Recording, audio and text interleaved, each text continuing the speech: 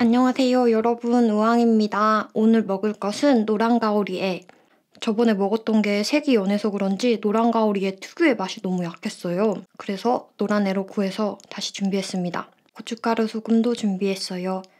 그럼 맛있게 잘 먹겠습니다. 오렌지 주스예요.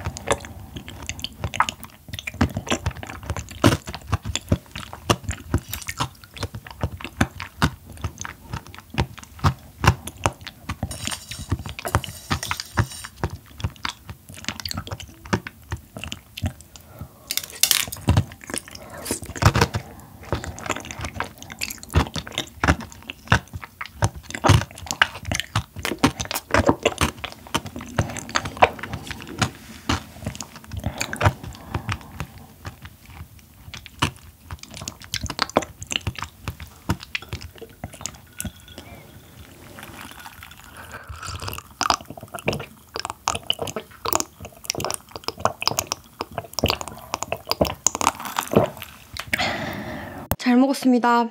성공적이에요. 확실히 노란 가오리에는 노랄수록 맛있는 것 같아요. 훨씬 맛이 진하고 훨씬 느끼해요. 너무 맛있게 잘 먹었습니다. 안녕.